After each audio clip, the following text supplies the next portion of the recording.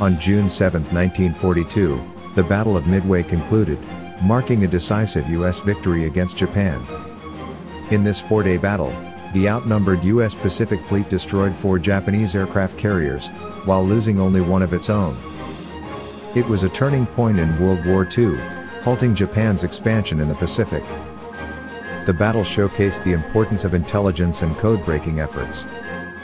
The U.S. forces, led by Admiral Nimitz, were well prepared and launched devastating airstrikes. The victory boosted American morale and demonstrated the strength and strategic prowess of the U.S. military. The Battle of Midway remains a significant event in history, highlighting the courage and determination of the U.S. forces in shaping the outcome of the war in the Pacific.